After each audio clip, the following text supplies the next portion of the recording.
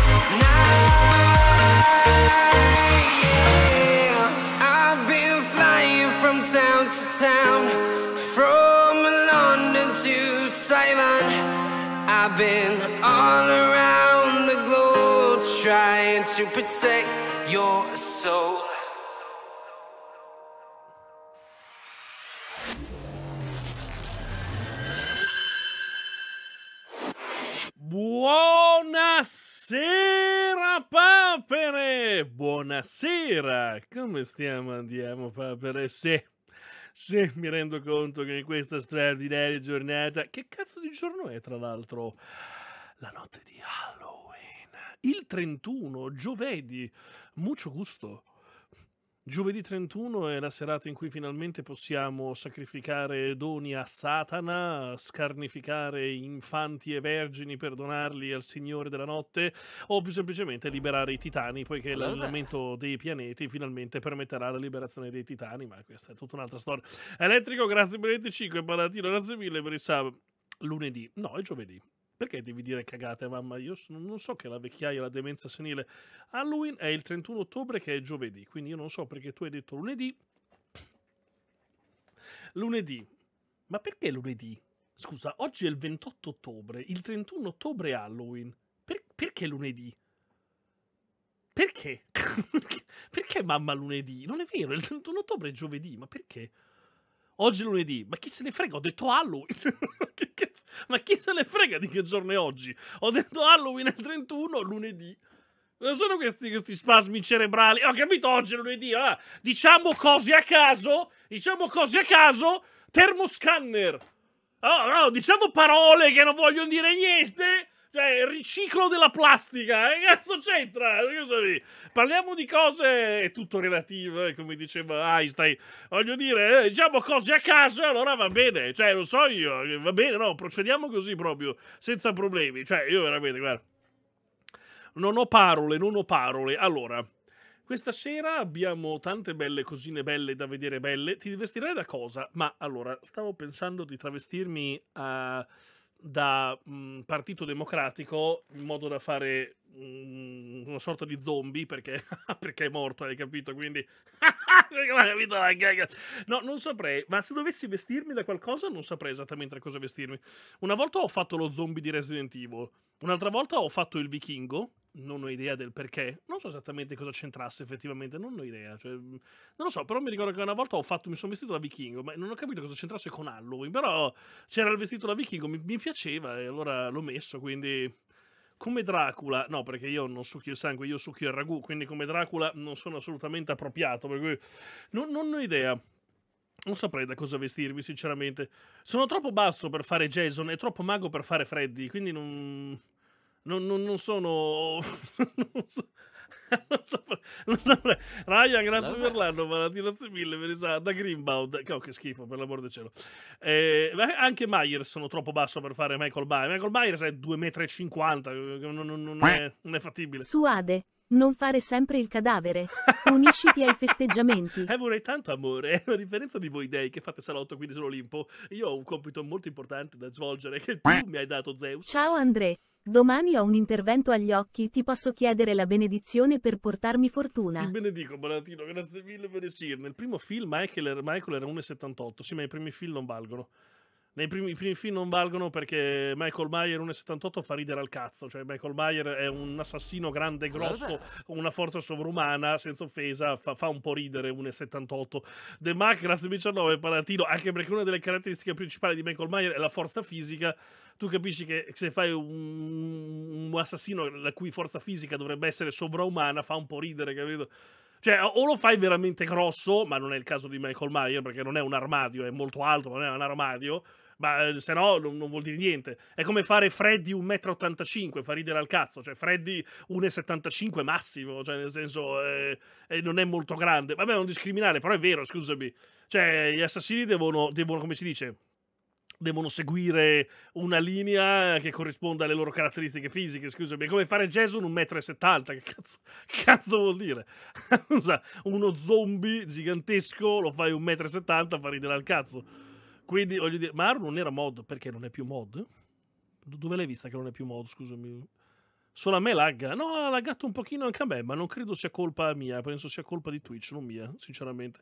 Prova a vedere, ho riavviato, in teoria laggava un po' anche a me, ma la qualità, abbassiamo ancora di più la qualità per far andare più fluido, ma dubito cambierà niente. Ah, clown assassino, no. Sei alto 1,70? No, Flavia, grazie al cielo sono 1,78 fortunatamente. 1,70 è un po' pochino, per fortuna sono 1,78, quindi fortunatamente ringraziando il cielo non sono 1,90, ma non sono neanche un nano, per fortuna. Maleficent, grazie per i 7, Baratino, anche perché se io fossi 1,70 sarebbe un enorme problema perché se io fossi 1,70 sarei più largo che alto. Ed è un enorme problema. Capisci che un essere umano, quando è più largo che alto, è un problema. Cioè, diventa un quadrato, comincia a rotolare in giro invece che camminare, sbattendo gli angoli. Non, non, è, non è, proprio il massimo. Quindi... Andrea, grazie per gli 8. Baratino, grazie mille per i sa. Ma no. Ma quando ero, quando ero bambino avevo il fascino per Andre the Giant. Quando, quando, quando, ero bambino, quando ero bambino volevo essere alto 2,25 m perché guardavo Andre the Giant, ero affascinato da Andre the Giant, allora mi piaceva l'idea di essere alto tipo 2,30 m, 2,25 m. Poi mi sono reso conto dopo che era un po' un problema, però vabbè, comunque sai com'è.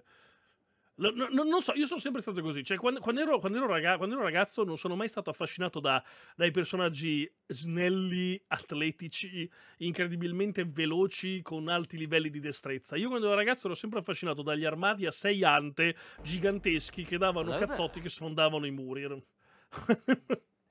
sempre stato equo e non dipende da me, ragazzi. L'audio è muto. Io non, non, cioè, la, non, non, non ho l'audio doppio. Non so perché si senta doppio. Non so cosa succede. Mannaggia la Madonna. Se 1.70 è un po' pochino, Pensa a me che sono 1.58 lacrime di gioia. Ma cosa vuol dire? Ma puoi avere uh, un altissimo livello di destrezza, ma poi non c'entra un cazzo, cioè non, l'altezza non serve un cazzo nella vita, cioè, serve per rimorchiare, ma... Vestiti da commercialista o da finanziere. Effettivamente... Con quello stai tranquillo che qualcuno si caga addosso. effettivamente... Effettivamente... effettivamente devo ammettere che quello potrebbe... Sì, lo so, sono sempre stato affascinato dai personaggi grandi e grossi più che da quelli magri, molto, molto, molto agili. Moe, grazie per il nome, Palatino, con, con, tutte le eccezioni del caso in realtà, perché dipende.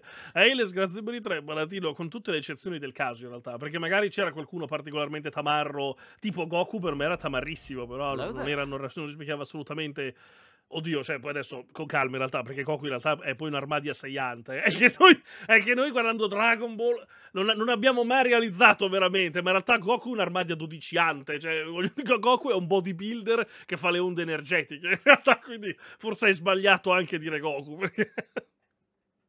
Credo che una persona per avere il fisico di Goku deve fare 20 anni di palestra con steroidi, se no non è, non è fattibile. Ni, grazie per i 15, Palatino. No, Rachitico no. Cioè, Vegeta era 1,65, era un po' basso. Rachitico, oddio.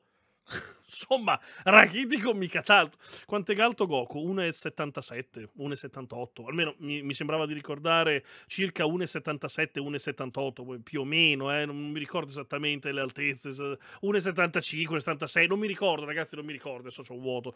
Poi non sono nemmeno sicuro sia mai stata definita realisticamente l'altezza. Così basso Oddio, basso non lo definirei basso. E poi tieni a mente. No, ma che 1,85. Praticamente sull'autobus arrivo ad annusare i culi alle persone. Sai come mi chiama una mia collega di matematica?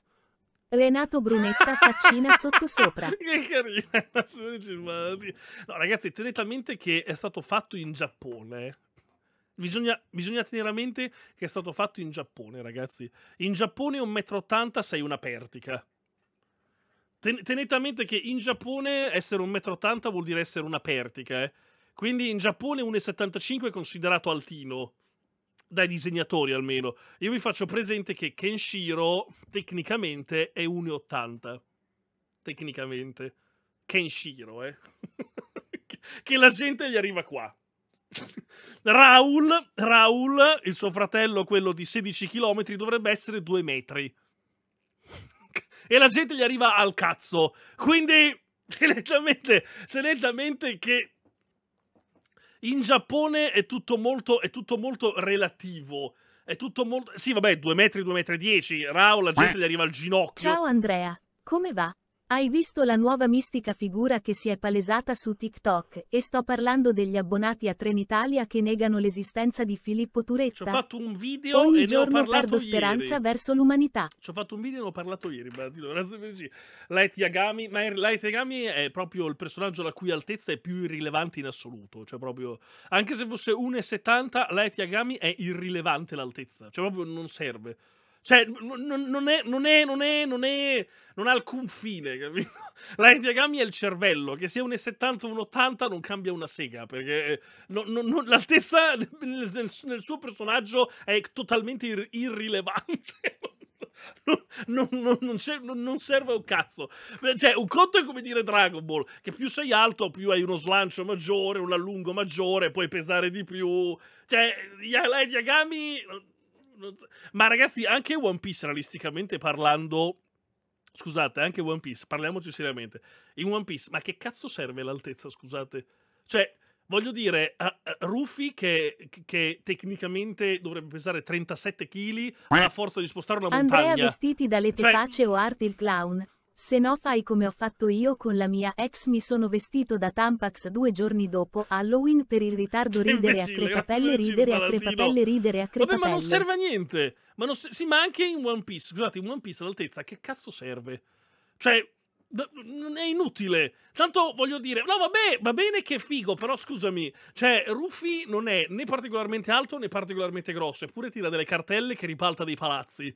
Cioè, um, Kizaru è alto 3,47 m ma è completamente inutile perché tanto il suo potere deriva dalla velocità e dai laser, quindi è completamente inutile il fatto che sia 3,50 metri, anche se fosse 1,60 sarebbe uguale. quindi nel senso, cioè, non, sì vabbè, ma nel senso non, non è una cosa, non è, una, non è, uno di quegli anime in cui l'altezza è importante, capito? Non è rilevante. Cioè un personaggio di un metro potrebbe essere più potente nell'universo, uno di, di 7 quindi in realtà, cioè, mi ricordo che Sanji è 1,77, penso, credo. Dovrebbe essere tipo Zoro tipo 1,80, non mi, non mi ricordo. C'ho un vuoto, sinceramente, perché non, non, ho mai guardato tantissimo le altezze. No, un chilometro è impossibile. Non, non può essere un chilometro il signor Wolf, è troppo. Sarà centinaia di metri, un chilometro è troppo, secondo me. non, non può essere. Beh, lui è un gigante che ha mangiato il frutto per diventare gigante, va benissimo, un chilometro esagerato. Fallo, eh. grazie per i due Bonatino, grazie mille per il sub.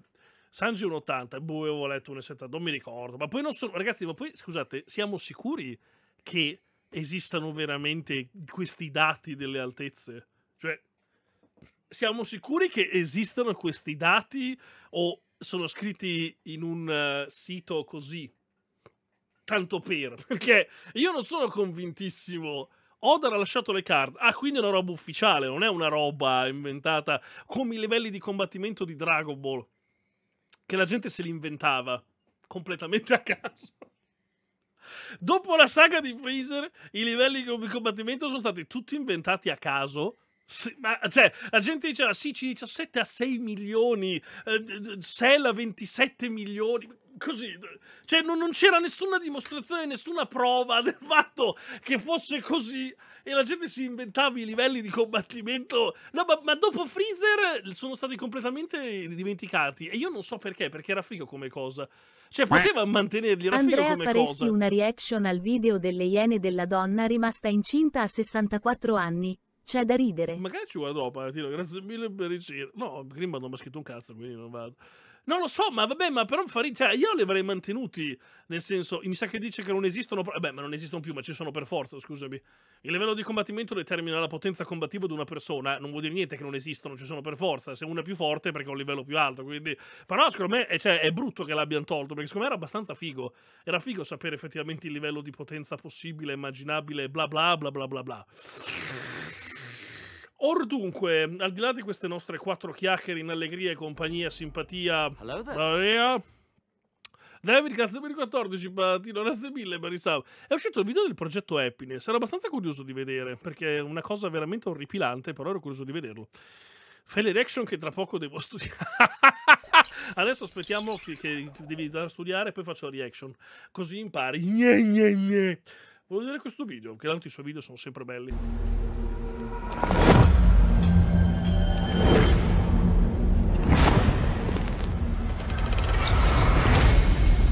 Timpani. Miei timpani. Mi fa male pensare al lavoro di mio marito e a cosa debba fare. Io e i bambini siamo sempre in pensiero fino a che non torna perché è un lavoro pericolosissimo. Mazza che schifo comunque, tutti bene del mondo. Fortunatamente tutti quelli che sta controllando adesso sono piccoli e, e non ostruiti lo hacker che bontà. Non ho altra scelta. Purtroppo sono costretto a fare questo sporco lavoro.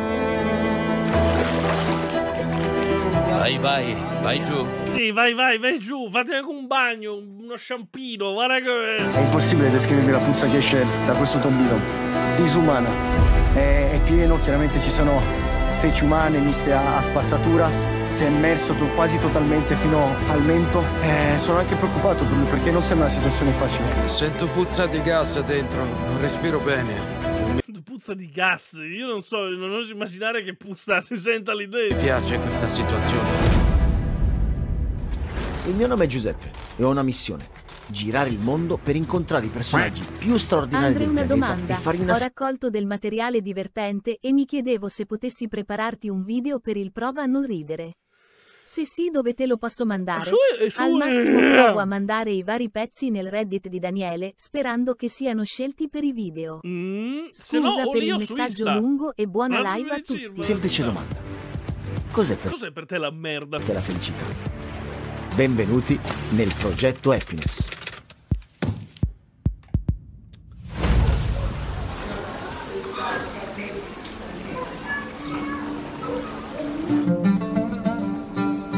Viaggio nella fabbrica di cioccolato. Siamo appena entrati in una delle baraccopoli più difficili di tutto Islamabad, la capitale del Pakistan, perché proprio qui vogliamo documentare il lavoro più duro al mondo. E vi avverto, sarà un episodio molto tosto, molto difficile anche da guardare, quindi provate a restare con me fino alla fine perché sarà Sto una storia... qua sotto ad un ragazzo già fidanzato da due anni. So che di base dovrei superarlo ma non voglio. Voglio piacergli. Come cazzo faccio? Non fai, semplicissimo. Non lo fai, a meno che lui non sia già inclino a tradire, no- non- non fai niente. Aspetti semplicemente che la loro relazione finisca e provi a farti presente senza lasciar sottintendere che te lo vorrete trombare, cosa che rimarrà quasi sicuramente impossibile da non notare, ma per il resto non puoi fare assolutamente niente, a meno che non sia chiusi con la ragazza.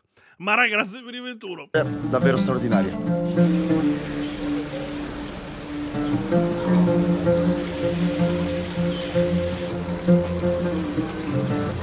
Non voglio che tradisca, gli dico, non puoi avere la botte piena e la moglie ubriaca. Mi sceglie. Manu, grazie che ti sa. Mauro, grazie per i 30. A Islamabad si contano circa 40 baraccopoli come questa, dove vivono più di 100.000 persone. lo Immaginatevi so le male, condizioni in cui vivono, non c'è acqua potabile, condizioni igienico-sanitarie molto complesse. Però il problema più grave è qui, qui sotto, le fogne, le fogne che si riempiono di acque reflue che sono Mm, Però comunque a Catania c'è un bel sole in questo periodo.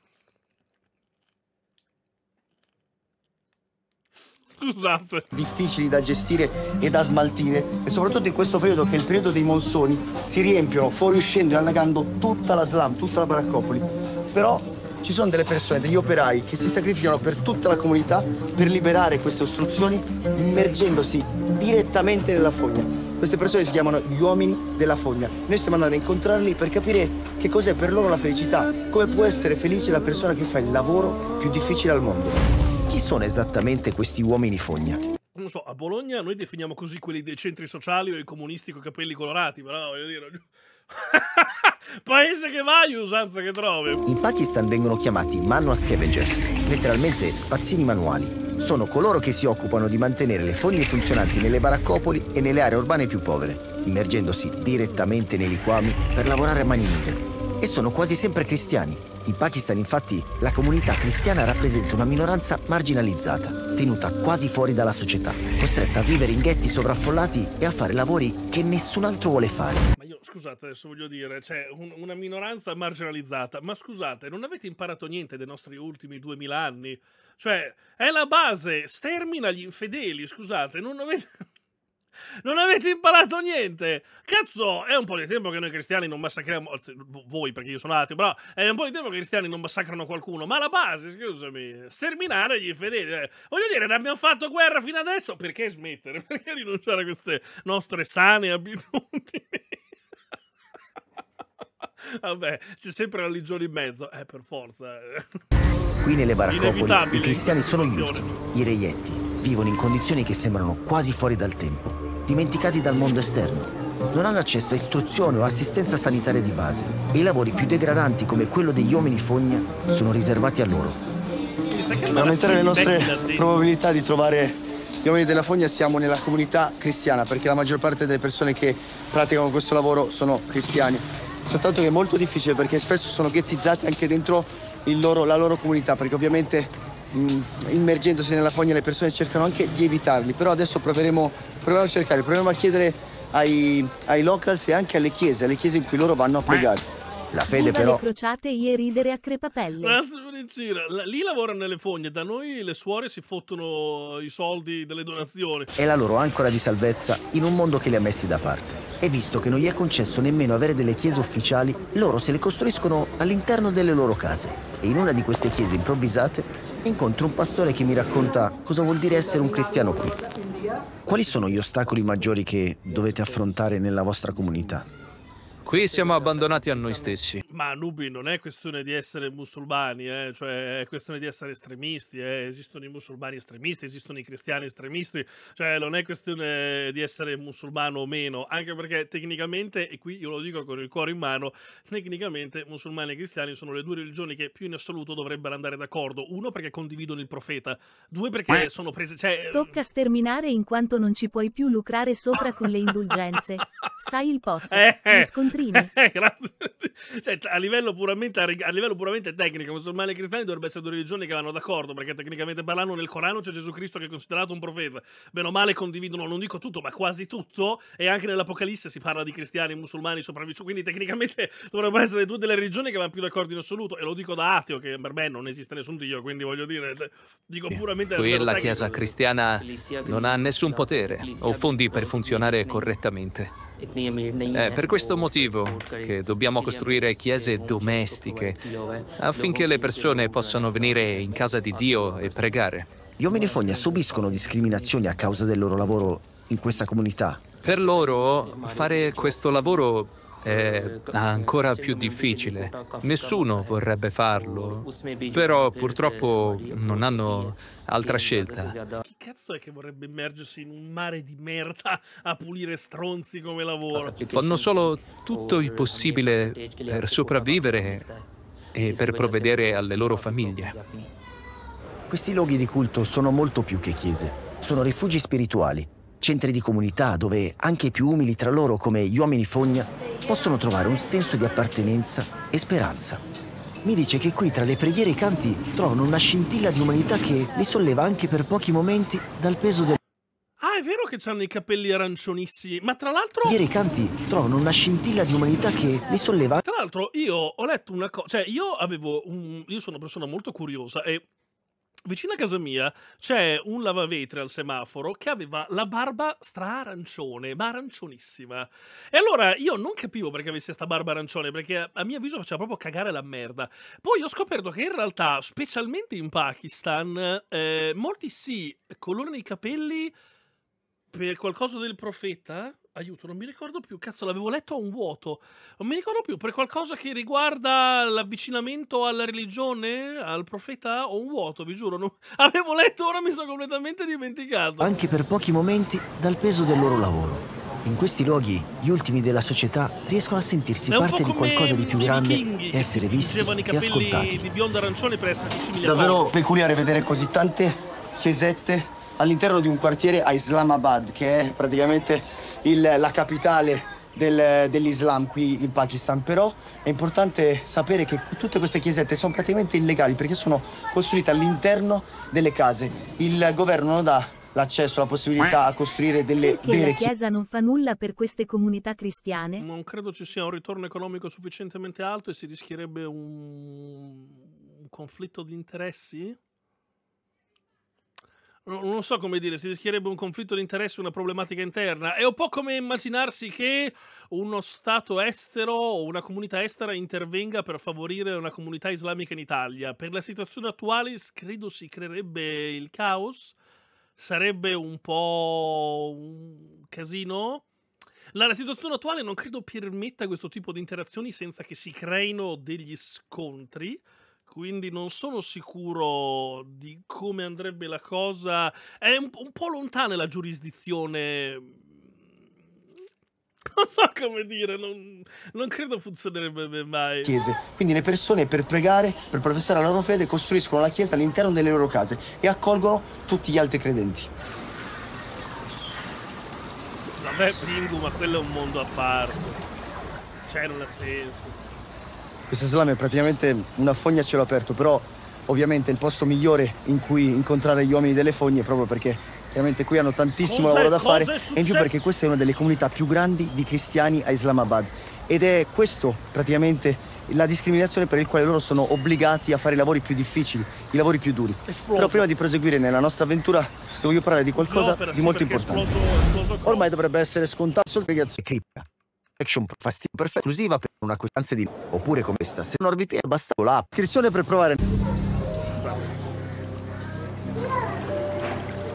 Non è difficile vedere per strada gli uomini fogna, perché di lavoro per loro, purtroppo, per fortuna... Ma comunque c'è un casino, e c'è incredibile come la plastica e tutto quello che riguarda la plastica abbia veramente circunnavigato il globo. Cioè la trovi ovunque sta cazzo di plastica. Ce n'è sempre. Sanjid ha appena iniziato a lavorare, ma il suo sguardo ha già l'aria stanca di chi conosce troppo bene questo lavoro. Accetta di farsi accompagnare da noi mentre lavora su un tombino bloccato da settimane. E mentre Sanjid si prepara a entrare nel tombino, la situazione mi sembra surreale. L'odore è così forte che ti fa venire voglia di scappare. Ma per lui è solo un altro giorno a lavoro. Intorno a noi la gente guarda, ma non Sanjid. Sono più interessati alle nostre telecamere. Poi a mani nude, cioè, ma qui secondo me sti qua non arrivano a 40 anni senza 350 malattie venere. Mentre lui è semplicemente parte del paesaggio. È sconvolgente vedere come qualcosa di così degradante possa essere considerato la normalità qui. Questo è il momento più delicato del lavoro di Sajid perché sta per aprire il tombino in cui veramente avrà accesso alla fogna. Deve stare attentissimo perché questo è il momento pericoloso in realtà perché nella, dentro al tombino ci possono essere dei fumi chimici che potrebbero stordirlo una volta dentro e molti dei suoi, dei suoi colleghi sono, sono morti proprio in questo modo. Infatti è meglio se ci allontaniamo perché lui spero probabilmente dovrebbe capire subito se c'è qualche rischio. Eh, e di solito buttano anche una, un fiammifero. Ah, per vedere se c'è la fiamma. Fiammifero dentro per vedere se, se c'è una reazione. Se c'è una reazione chimica vuol dire che lui non può scendere dentro. Ora capiamo come si comporta lui. Ora vado giù.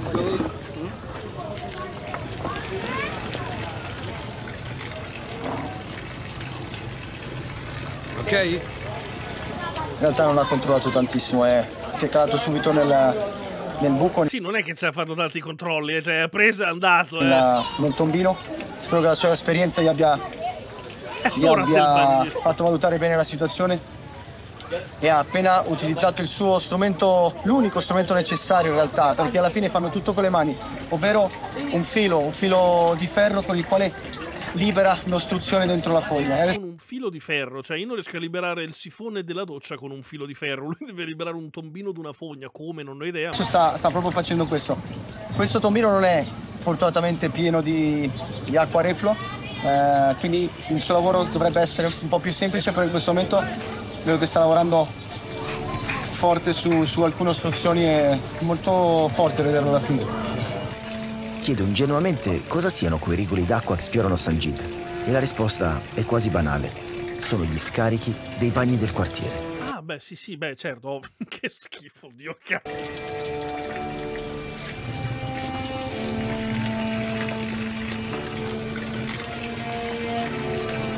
È tutto veramente eh, antigenico, poi io sono anche abbastanza schifoso, quindi...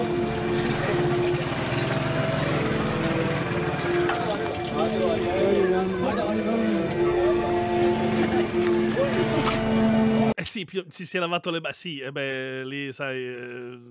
Sì, sì, meglio, ma infatti io sono stracontento, cioè io continuo a dirlo in maniera molto, molto, non voglio dirlo in maniera brutta, ma sono stracontento di essere nato in Occidente sono stracontento di adorare la mia divinità che funziona, cioè, piuttosto perché qui veramente è una, una condizione veramente orripilante, cioè. C'è troppa sporcizia, c'è troppa immondizia lì dentro. È pieno di sacchetti di plastica, pieno di rifiuti, ci sono anche stracci, ecco perché è tutto bloccato. Mi sono anche tagliato con un piccolo pezzo di metallo tagliente nascosto lì in mezzo. Ho pulito il passaggio e ho tirato fuori la sporcizia e l'immondizia. Speriamo, speriamo. Credo che Sajid abbia fumato un bel po' prima di venire al lavoro oggi perché è molto, molto alterato, non riesce quasi a parlare. Credo che... Ah, è fatto? Dice che è fatto a bestie? Eh? Per fare questo lavoro alcune volte aiuti a non essere molto cosciente. Decidiamo di lasciare riposare Sanjit e incontriamo il suo collega di nome Niahad. È un uomo di famiglia, con una presenza calma e dignitosa che contrasta con il caos delle baraccopoli intorno a noi. Niahad ci sta portando a lavoro con lui, però ci sta spiegando che non è facile quando cammina per la città perché tutti lo evitano Infatti mi, mi guardano tutti per dire ma cosa ci fai con lui? Vabbè, ma se fai una vita del genere e non riesci a reagire in nessun modo, a morire il prima possibile, secondo me è la soluzione più ideale. Perché che cazzo, cioè, chi, non di sicuro non ti stai a prendere cura della tua salute e della tua persona se come lavori o sturi le fogne dalla merda. Cioè, fai quello che devi fare per cercare di sopravvivere quel più possibile, però non, non è che ti importa molto anche se muori non, non, non con la vecchiaia. Cioè, no, vabbè, ma in generale. Dico. Però sono ancora più felice di, di accompagnarlo in una giornata. lo fanno per la lavoro. famiglia, però. Fa questo lavoro da decenni e c'è una certa serenità nei suoi gesti. Quasi come se avesse trovato un equilibrio tra il dovere e la necessità di sopravvivere. È il piacere. Fortunatamente tutti quelli che sta controllando adesso sono piccoli e, e non ostruiti, quindi li sta controllando, li sta prendendo, adesso li richiude per proseguire. Gli hanno dato da controllare tutto questo quartiere, quindi ce ne saranno qualcuno in più da controllare. Passiamo la giornata con Nihat, seguendolo mentre controlla ogni tombino cercando il punto di ostruzione. Il suo compito è lungo e faticoso, ma i suoi movimenti sono sempre misurati e precisi. Tra le vie delle baraccopoli siamo sicuramente un'accoppiata più unica che... Mamma là i veci che si siedono sulle sedie di plastica giudicando i passanti come succede anche in Italia. Con quale, con quale occhiale da sole me lo stai dicendo incredibile? Tento, grazie Rara. La gente lo guarda e ci guarda con un misto di curiosità e a volte disprezzo. Yahad sa bene che molti lo considerano impuro, un portatore di malattie, ma per lui è un lavoro come un altro, necessario per la sopravvivenza della sua famiglia. Deve controllare se in sono delle assunzioni. Mamma mia. Eh. Controllo questo che era bloccato. Mm. Andiamo a pulirlo praticamente ogni giorno. C'è un sacco di Ferrero Rocher lì dentro.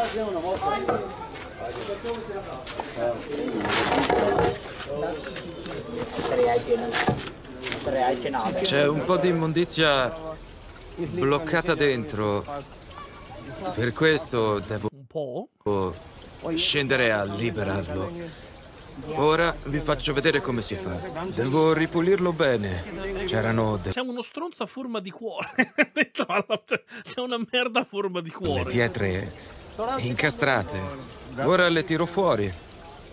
Così la fogna può passare bene.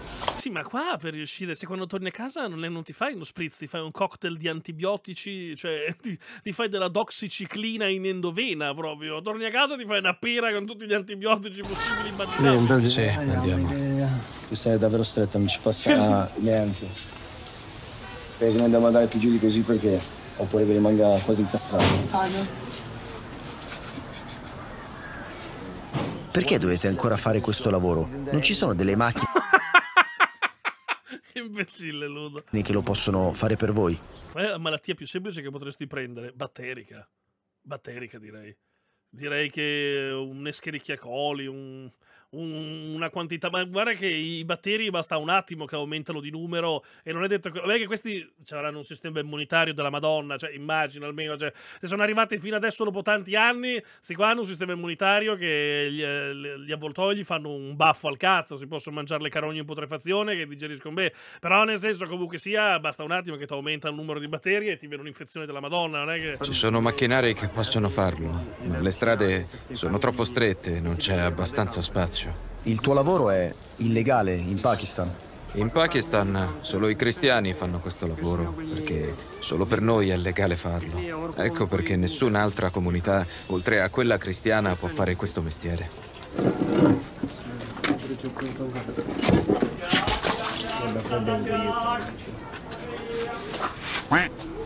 Pensare che l'India e il Pakistan nell'1700-1800 erano delle potenze, Confermi Andrea? Uh, non erano delle colonie inglesi? Mi, mi, ricordo male io, ma non erano delle colonie inglesi nel 1008 sbrisca. Applejohn, grazie per i tre, Baratino, allora. grazie mille per i sub. Ma poi scusa, non era un unico stato, India e Pakistan? Non erano un unico stato sotto la corona britannica? Poi sono stati divisi dopo? Oh, magari mi ricordo male, mi ricordo che erano tipo un unico stato sotto la corona britannica, quindi oddio, superpotenze, vabbè, sotto... non, lo so, cioè, nel senso, come fai a descrivere... Come fai a descrivere una colonia, cioè, nel senso... Non, non saprei, cioè, di, difficile a dirsi. Davanti a un tombino più grande, Può fa essere. più serio. come se il suo lavoro iniziasse solo adesso. Infatti, stranamente si spoglia, ma ancora non capisco il perché. Deduco però che sia un tombino difficile perché Sanjit corre a dargli una mano. Ora lo apriremo, poi lo puliremo e toglieremo qualsiasi sporcizia che lo blocca. La gente qui tira di tutto dallo scarico. Qui dentro c'è molto gas. Bisogna stare molto, molto attenti. Tanti colleghi ci sono rimasti secchi. Eh, Poi dentro i tombini ci tagliamo sempre le mani e i piedi. Ci sono oggetti appuntiti di ogni tipo che possono essere molto pericolosi. Io non ho idea tagliarsi lì dentro come fanno a non prendersi dell'infezione. Cioè, questi uomini devono avere un sistema immunitario. Cioè, io, io, credo che involontariamente abbiamo appena creato il next step dell'evoluzione umana. Io credo che involontariamente abbiamo appena creato un'evoluzione alternativa all'essere umano. Magari noi diventeremo sapiens, sapiens, sapiens con un cervello più grande. Loro diventeranno sapiens immunis, dei sapiens immuni a ogni tipo di malattia sul pianeta. Studieremo il loro genoma per trovare la cura a ogni malattia possibile. Perché io non ho idea di come si faccia a non morire di infezione tagliandosi nell'acqua con la merda. Quindi. Hanno tipo il codice genetico dell'immortalità. Sono tipo dei tardigradi coi baffi. non riesco a immaginare. Vogliamo dire ciao, quanti vuole la catena? Merda, grazie. Malattia 34, Questo sarà complicato da pulire perché è il tombino più grande del quartiere e ci può essere dentro di tutto. Puliremo la superficie, poi scenderò per controllare il punto ah, vabbè. in cui è tutto Dai. bloccato.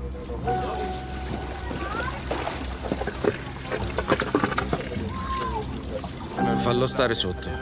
Io ci appoggio su il piede. Liquami non identificati. Tienimi dalla corda.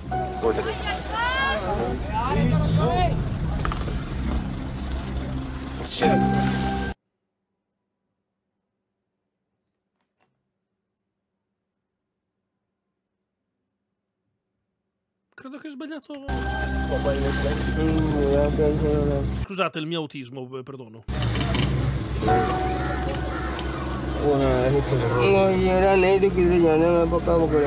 Ah, vai, vai, diverso? vai giù. Ah.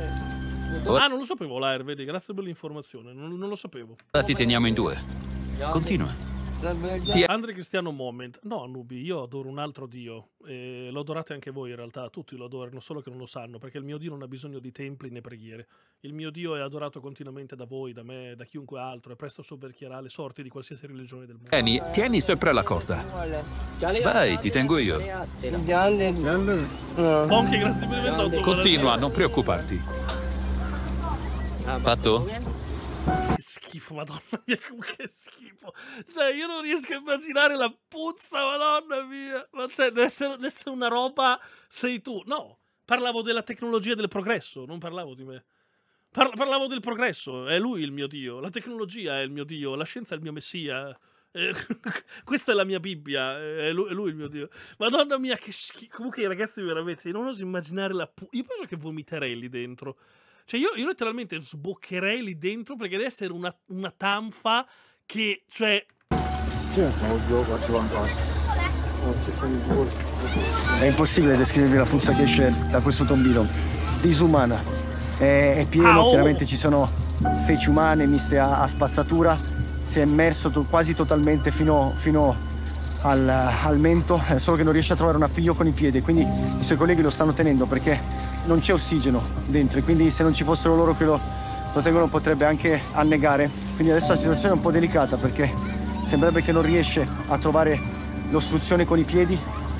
Eh... Comunque alta tecnologia, trovare l'ostruzione con i piedi, essere immerso nella merda fino a qua ed è una roba di un se lascerà me un dio della scienza. No, uomo pane, non penso. Cioè, allora, io, io, l'ho sempre detto, io credo che le religioni siano indispensabili, specialmente in quei luoghi dove la disperazione abbonda e c'è bisogno di speranza.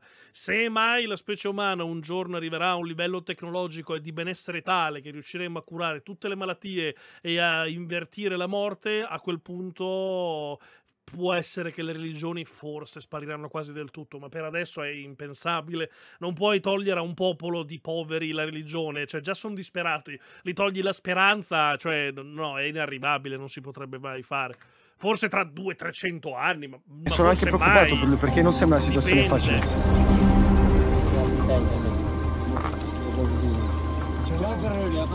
Sento puzza di gas dentro, non respiro bene. Non mi piace questa situazione. Sì, tienilo che se non ha ossigeno e sviene nella merda non lo salvi più. Adesso do ossigeno.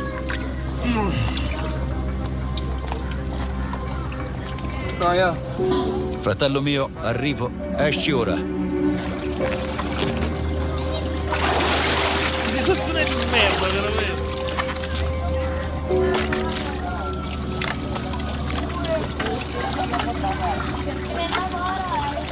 Niente da fare, è tutto bloccato lì sotto. È molto difficile.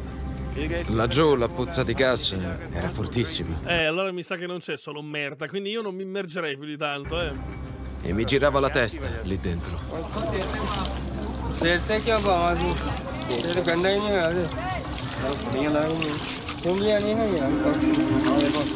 Ci deve stare la perdita di un condotto.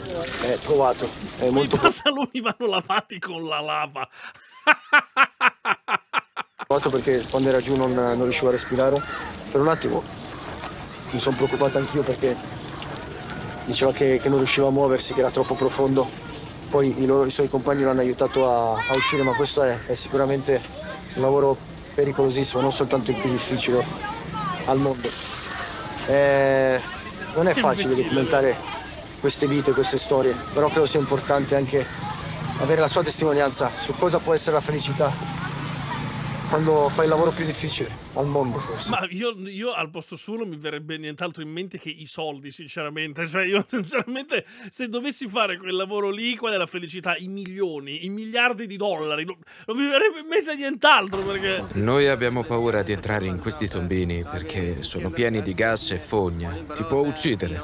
Non sarebbe la prima volta che qualcuno muore qui dentro. Sono già successi incidenti del genere. Per questo motivo non sono riuscito a liberarlo. Siamo però costretti a farlo. Dovrò tornare con altri strumenti per sbloccarlo e liberare il flusso della fogna. Perché ogni settimana si intasa per tutta la spazzatura. Se non lo facciamo noi, chi lo fa? Nessuno purtroppo. Tutti abbiamo dei bambini piccoli. Quando torniamo a casa e vediamo i loro volti, ci ricordiamo per chi lo facciamo. Loro sono la nostra unica e vera forza. Sì, anche perché se non è per quello. Non ho idea di quanto venga pagato, ma credo poco perché. Questo tipo E di come per un operaio generale- qualsiasi, anche la giornata di Nahad è finita. E sorprendendomi, mi invita a casa sua. Vuole farmi conoscere la sua famiglia. L- gli proibisce di cagare. Gli dice non azzardarti a cagare perché te lo dico di meno, caga in giardino, lo rompono i coglioni. Wow, è la tua famiglia? Sì, Basta. Questi sono i miei figli e questa è mia moglie. Abbiamo tre figli e due figlie. La pace sia con te. Eh, Scusi, ne ho contate di più, signora, mi perdoni. Questi 1, 2, 3, 4, 5, 6, 7, 8, 9. E chi- Sono amici gli altri? sono i miei figli e questa è mia moglie. Abbiamo tre figli e due figlie. La pa- 5. Allora gli altri chi sono? Amici del quartiere? pace sia con te. Eh, questa è casa di Liakat. Credo Pensa ci se vivano uno entra in un tombino e dice Ehi, questa è la cacata che ho fatto ieri. Bella grande va che si luro Johnny. più di una famiglia, adesso lo chiediamo però. Guarda quanti bambini, sono bellissimi. Facci una foto. Siamo due famiglie in questa stanza Ah, ecco, vedi. ci sono tanti bambini, ma ci aiutiamo l'un l'altro per superare le difficoltà. La casa non è nostra, è di mio fratello, ma grazie a lui abbiamo un tetto sopra la testa. Non è una vita facile, stiamo attraversando tempi davvero duri. Ho cinque figli, Li ha recuperati nelle maschi e due femmine. Quei tre sono i miei ragazzi e quelle sedute lì sono le mie ragazze. Quando mi chiamano per un lavoro sono contento perché potrò comprare da mangiare a loro. A volte non mangiamo né a pranzo né a cena. Capisci quanto è importante anche un lavoro come il mio? Riesci in qualche modo ad essere felice quando ti chiamano per lavorare?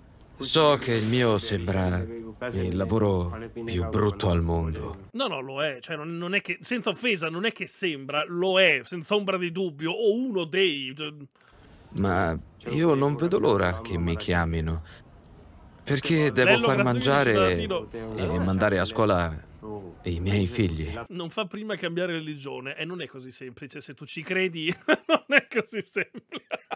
Non è così semplice. Se ci credi e cambi religione, ma rimani fondamentalmente cristiano, rischi l'inferno. Non è così semplice. Non può nasconderla. Eh, vabbè, ma non, non, non, credo sia così facile, ragazzi. Le religioni sono strutturate specificatamente per impedirti queste cose qui, ovviamente. Se no, non funzionerebbe, scusami. È normale, voglio dire. Penso sempre al lavoro di mio marito, a quanto sia duro. Ma ci serve per sfamare i nostri figli. Se fai un bel lavoro, sei felice. Questo non è un bel lavoro, ma ringrazio Dio per quei pochi soldi che ci arrivano. Sono molto importanti per noi. Io e i bambini siamo sempre in pensiero fino a che lui non torna, perché è un lavoro pericolosissimo. La gente dice che è un lavoro sporco, ed è vero. I suoi vestiti sono sempre rovinati e nessuno lo tocca o sta con lui. Vabbè, ma lì perché dischi... Ma io mi chiedo, mica sono obbligato a fare tutti questi figli. È una statistica, sai Samuello. È statisticamente provato che nei paesi più poveri, con le condizioni igieniche più basse e la tecnologia minore, la gente fa molti più figli. Per il semplice fatto che spesso e volentieri capita che non c'è tutta questa prevenzione, la mortalità infantile è alta, eh, eccetera, eccetera. Mentre invece nei paesi con il livello di tecnologia più avanzato e il benessere più alto, il numero di figli medio pro capite cala. Noi siamo a uno e mezzo a famiglia? Credo, forse meno. Noi abbiamo, siamo calati, tra l'altro, e stiamo facendo sempre meno figli, tra le altre cose. Quindi credo sia proprio, proprio, una proporzione, un rapporto. Succede ogni volta che aumenta il benessere di un paese, quindi... Dicono, tuo marito dovrebbe trovare un lavoro migliore. Questo non è un lavoro vero. Non ho amici a causa del mio lavoro e delle conseguenze che porta. Ma non ho scelta, purtroppo. Questa è la mia famiglia e devo farlo comunque. I tuoi figli conoscono il tuo lavoro? I miei figli capiscono cosa facciamo. Non gli piace, certo, ma quando gli porto da mangiare sono felici. L'unica cosa che mi importa è dimostrare ai miei figli che il loro papà è una persona onesta e che vuole solo vederli felici. Sogno che i miei figli possano avere successo e che un giorno possano aiutare anche mio marito. Vabbè, ma per cosa... Sì, ma Samuel, devi vederla in maniera inversa. Per cosa vivi lì? Cioè, vedila in maniera inversa. Anzitutto, se sei cristiano o musulmano, è un imperativo di andare e riprodurti. È un imperativo, non è un'opzione. Cioè, Dio ha detto di andare e riprodursi, non andare e restare celebri, primo. Secondo, in questo mondo qui, una situazione del genere, per cosa vivi? Se non per la tua religione e per i tuoi figli. Che, che altro hai? Se non hai quelle due cose, non hai letteralmente niente per cui vivere. Quindi con, con, tua moglie trombi senza protezioni, anche perché i preservativi costano e di sicuro non credo facciano roba eh, protetta. e quindi nel senso... Eh, cioè, nel senso, è una conseguenza di tanti fattori, quindi... Spero che lui possa lasciare questo lavoro e trovare qualcosa di meglio. In queste condizioni così dure, qual è la fonte della tua felicità? Quando abbiamo qualcosa da mangiare, siamo felici. Anche pochi soldi ci permettono no, ogni di domanda è lecita, Samuel. E questo basta. Qualsiasi domanda Il lavoro è, valida, è faticoso, ma lo faccio per i miei figli. Sono loro la mia forza. Non guadagno tanto, ma quel poco ci aiuta a sopravvivere. E questo per me è già molto. Non ho potuto studiare, ma lavoro duro affinché i miei figli possano avere un'istruzione. Ogni giorno facciamo sacrifici per dare a loro la possibilità di studiare e di cambiare il loro futuro. Hai sbagliato un punto esclamativo, Se c'è una cosa che mi è chiara dopo tutti questi anni di ricerca, è che la felicità non ha lo stesso significato per tutti. Per Nihad, per esempio, non si tratta di grandi sogni o aspirazioni irraggiungibili. La sua felicità è semplice radicata nella dignità del lavoro, nell'amore incondizionato per la famiglia e nella speranza di un futuro migliore per i suoi figli. Ogni giorno in cui riesce a mettere un piatto sul tavolo è una piccola vittoria, un passo in avanti verso la sua idea di felicità. La sua storia ci mostra che non è la condizione esterna, per quanto difficile o degradante, a determinare la felicità, ma la capacità di trovare un senso anche nelle circostanze più dure. E di che cazzo devi essere felice lì? Per forza di quella roba lì. Non è che puoi fare. Non è che hai molte alternative, voglio dire. Poi in realtà, allora, era uscito un video che mi incuriosiva, che era il Milano, la città che la classe media non può più permettersi. Non lo so, mi incuriosiva il video. Non, non ho idea se sia una roba puramente documentativa, quindi diventa una tamugnata incredibile. Se no, che cazzo avevo messo? Best Sport Fail, anche questo mi piace, sinceramente.